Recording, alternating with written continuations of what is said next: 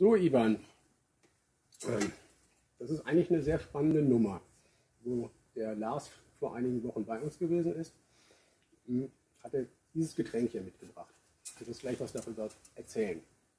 Meine Freunde, meine Kunden, meine Stammkunden und Best Buddies, unser Golfclub, alle fragen immer, ich hätte gerne einen leichten Rotwein, der schmeckt, bezahlbar ist am besten alles kann und auch keinen dicken Kopf macht und weiß ich was. Ist, eigentlich ist das nicht lösbar. Pinot ist sehr, sehr fragil. Ne? Blauburgunder oder Pinot Noir. Absolut. Ähm, ihr habt hiermit eigentlich was, was in der Tasche, was aus meiner Sicht in Europa keiner hat. Und die Kameraden über den Teich, die lassen wir jetzt mal weg, weil die machen ja auch nur Bomben. Das hier ist äh, vielleicht die Lösung für, für Leute, die gerne Rotwein trinken, was haben, was, was, was richtig schmeckt, was mundig, das, das dampft auch hier schon rüber, das kommt so langsam. Das ist sehr, sehr, sehr, äh, sehr spannend. Ich muss mal was über die Frucht gleich erzählen, aber vielleicht mal vorab, was, was, was haben wir denn da drin? Ja, also wir haben äh, Lagrein im Glas. Lagrein ist eine einheimische, äh, im Fachjargon eine autochtone Rebsorte. Ähm, das ist eine Rebsorte, die eigentlich nur in Südtirol wächst, aus Südtirol kommt, in Südtirol beheimatet ist und äh, daher eine Historie von fast 300, 400 Jahren in unserem Weinbaugebiet äh, hat. Ähm, das, was du jetzt angesprochen hast, finde ich ganz cool, weil es ist eine Rebsorte, die hat extrem viel Farbe. Das ist ein, ist ein ganz, ganz dunkler, Wahnsinn. kräftiger Rotwein von der Farbe her. Aber im Trunk ist das Ganze eigentlich saftig, frisch und hat eine, hat eine, eine gewisse Trinkigkeit. Also Trinkfluss. sagen. Gibt's da Trinkfluss. so ein neues äh, Genau. Wort für. Und das liegt daran, dass äh, Lagrein, ähm, wenn er reif ist, wenn die Trauben ganz reif sind, dann hat er extrem viel Anthocyane, also Farbstoffe in den, in den Trauben, die, die ganz, ganz schnell in die, in die Flüssigkeit sozusagen Ah, okay. während der Gärung ähm, übergehen. Wusste ich nicht. Ja. Danach aber wenig Tannine, Das wenig ist- Gerbstoff. Ja, das ist Und das macht das aus. Das Rund, aus. geschmeidig, Ja. weich. Aber nicht Auer. Aber nicht Auer, genau.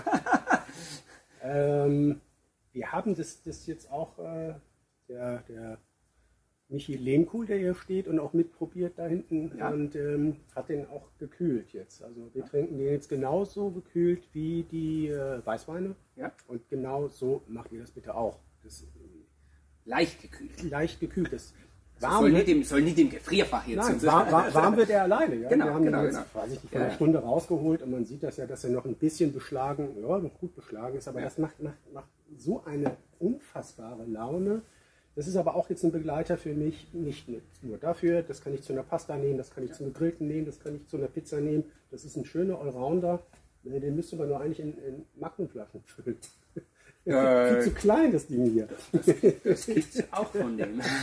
Die gibt's auch von dem. ja, wir machen vom, vom Lagrein Rieder auch einige Magnumflaschen. Das Tolle an dem Wein ist, wir haben hier einen ganz, ähm, wir sind ein junges, modernes Weingut, aber wir haben einen ganz traditionellen, klassischen Ausbau. Und der Wein wird zu 100%, so wie es mein Opa eigentlich schon immer gemacht hat, im Betonfass ausgebaut. Okay. Ähm, mein, bist ja, kennt sich ja gut aus in der Weinbranche. Wir haben ja diese, diese drei Behältnisse, also Stahl, Ja. Beton bzw. dann das Holzfass, wo man Wein ausbauen kann. Ähm, Beim Stahl, da haben wir keinen Sauerstoffaustausch, das ist mehr für ganz, ganz fruchtige Sachen. Holzfass, ähm, das benutzen wir ja nicht zum Aromatisieren von irgendwelchen Wein, Richtig. sondern das, äh, die, die Aromatisierung, das bisschen der Vanillegeruch, das ist ein Nebeneffekt. Wir nutzen das ja wegen der Mikroxidation, Genau. wegen dem Austausch von außen und innen. Dieser Wein ist in Betonfass ausgebaut. Das ist ein, äh, ein Medium, das man ja, ursprünglich vor allem in Frankreich äh, eine große ähm, Verwendung hat, vor allem für Rebsorten, um ihren Charakter, um ihren ähm, Traubencharakter, einfach die Aromastoffe, die man in den Trauben haben, dann auch in den Wein wieder widerspiegeln zu können, weil er ganz neutral ist. Einige Und, äh, Nobelschmieden sind auch hingegangen und haben in Beton richtig kräftig investiert. Also Abs- das ist absolut. jetzt nicht nur so, dass man sagt, irgendwie ja, die, die Südtiroler, die machen das. Nee, nicht. nee, nee, nee. Die sind dann auch schon drauf gekommen, dass das sinnvoll ist. Aber wir haben, wir haben wirklich für diese ganz delikate, diese ganz heikle tanninarme Rebsorte eigentlich, wie es der Lagrein ist, ähm, festgestellt, dass der Ausbau im klassischen Betonfass den Terroir-Charakter, diese Fruchtigkeit, diese Tiefe, die dieser Wein in der Nase vor allem widerspiegelt, am, am besten in den Wein transportieren kann. Ähm, eine Lanze muss man ja brechen. Ja. Es gibt, gibt ja verschiedene Produkte, wie, wie der, der Beaujolais. Es gibt Grüß aus dem Beaujolais, die, die, die 94, 95 Punkte kriegen. Das Ja. sind irrsinnige Weine. Aber man redet ja nur über diesen Dreck, diesen billig Beaujolais. Lagrein hat man auch, glaube ich, irgendwo in Deutschland in diese Schublade mal reingetreten und reingeprügelt. Leider. Und, und, und jetzt bist du dabei und ziehst das da wieder raus mit so einem unfassbaren Produkt. Ich muss mal ganz kurz rüber Ja. gehen. Michi, was kostet der bei einem Endverbraucher ungefähr? Ist das ist unter 10? Nee, äh, etwas drüber. Ja, so 13. Also so 14. 12, 13 Euro. Ähm, ja, leider. Das nein, ist, nee, ja, die, die- die 12, 13 Euro zahle ich dafür gern, das ist überhaupt gar keine Frage. Aber da waren irgendwelche Winzergenossenschaften oder Kollegen, die das da äh, anders gemeint haben. Das, das war leider vor einigen Jahrzehnten, äh, einigen Jahrzehnten so, dass sehr viel Lagrein im Umlauf war und da war der Lagrein ein, äh, vor allem angebaut auf alten Massenträgern, äh, Erziehungsformen, ähm, leider sehr, sehr einfach gestrickt. Äh, heute haben wir junge, moderne Winzer und ähm, wir haben das praktisch alles umgestellt. Wir haben ganz, ganz viel auf Spalieranlagen. Wir machen niedrige Erträge bei dieser ertragsreichen Rebsorte, Ja, ja, weil das ist eine ertragsreiche. Ja, wir reduzieren die Erträge, wir fahren rigorose Qualität im, im, im Weinberg und dadurch haben wir einfach viel mehr Konzentration, viel mehr Tiefe, viel mehr Langlebigkeit auch in den Weinen, weil Lagrein, die ursprüngliche Form vom Lagrein, dieses Beaujolais, das du, das du angesprochen hast, ähm, diese ganz, ganz fruchtigen, von der, von der Frucht her einfach dominanten ähm, Weine auch, die haben ein großes Alterungspotenzial. Das sind Weine, die, die nach 10, 15 Jahren auch noch richtig gut dastehen im Glas. Aber wie bei allen Sachen, man muss die Menge regulieren, man muss im Weinbau extrem gut arbeiten und äh, man muss Qualität statt Quantität produzieren. Und dann funktioniert das Ganze auch bei einheimischen Ja, das Rebsorten, ist bei so, lokalen so ein bisschen das, was ich über die ganzen Jahre, also die jetzt schon fast 30 Jahre, ne, über 30 Jahre, gemerkt habe, dass, dass ihr seid so wahnsinnig mit Rotwein, also das ist nicht nur Blauburgunder oder Pinot Noir, äh, auch, auch ihr macht Merlot, Cabernets, die international vollkommen Weltklasse sind. Die Burgunder von euch sind bezahlbar. Dafür kriege ich in Burgund nichts für den Preis. Also nicht was, was, was schmeckt. Und irgendwie habt ihr das oder der Verband oder die Region das nicht so, so hinbekommen.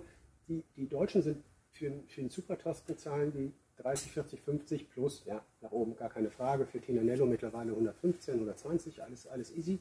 Äh, Also ich würde gerne in zehn Jahren wieder Ja. hier sitzen Ja, ja, nee, und dann reden, wir, dann reden wir wirklich gerne über Burgunder, weil wie gesagt, ich bin ja an, an erster Front. Wir sind ein Weingut, das für, für Pinot Noir hauptsächlich bekannt ist. Wir haben das Glück, mit den besten Lagen in Südtirol äh, und dementsprechend auch in Italien mit den besten Pinot Noir Lagen äh, zu arbeiten. Leider ist Pinot, italienischer Pinot Noir ein bisschen unterschätzt, weil man Pinot Noir immer als Pinot Noir ist eine Kühlklimasorte und, und Pinot, äh, Italien wird immer als warmes, äh, mediterranes Land dargestellt. Und dadurch ist in den Köpfen von vielen einfach, oh, das gibt's nicht. Aber wir sind ja, wir sind ja in Südtirol, wir sind mitten in den Ja, Bergen. ja, es ist ein ist es. kühles Klima. Das es. Und äh, das, was du jetzt gerade angesprochen hast, äh, in Südtirol gibt es bezahlbare Pinot Noirs im Bereich von 20 bis, bis 40 Euro, die wirklich mit den, mit den Premier Crus und Ja. zum Teil auch mit Grand Crus aus dem Burgund Wir, wir haben äh, mithalten können. Im und, Newsletter haben wir äh, das drin, den Ja. super Pinot Noir und ähm, Ja. auch ein paar Magnums haben wir noch im, im, im Pinot Bianco Sektor noch mit reingepackt, wo wir einfach mal so ein bisschen bunt bei euch eingekauft haben, um das mal zu zeigen, was das einfach für eine unfassbare Option für uns als Weintrinker ist, ja, wo ich probiere natürlich immer mal wieder Pinots aus Burgund aus und möchte auch mal gerne einen verkaufen Ja. für 25, 28 Euro, wo die Kunden sagen, wow, nein, ich finde es nicht. Und, und bei euch ist es so, hier, lieber Lars und lieber Michi, nochmal vielen Dank. Ähm, wir haben das probiert und, und ähm, das, das, das ist es. Und das ist die Wahrheit. Das ist sauber, das ist wirklich pur, das macht Spaß und das macht meinen Geldbeutel keine Schande. Absolut. Und ähm, das hier sowieso nicht. Das ist ähm, ein, ein, Traum, super Einsteigerwein. Und genau der Wein, den ich gesucht habe, ähm, leicht, mittel, leicht bis mittelschwer, unkompliziert, aber dennoch mit, mit, mit viel Wein und mit viel Farbe, mit viel Duft. Ähm, so mit Trollinger und den ganzen Sachen in Deutschland immer, immer schwer. Das verkaufen die im Stuttgarter Raum wie, wie Tier, aber bei uns in Köln kriegst du davon. Äh, Ja, hier haben, wir, hier haben wir einfach einen mittelschweren, einen mittelkräftigen Rotwein, ähm, der aber trotzdem einen, einen ganz, ganz saftigen, frischen Trinkfluss hat. Und damit endet das hier heute. Wir bereiten uns jetzt vor auf das Länderspiel.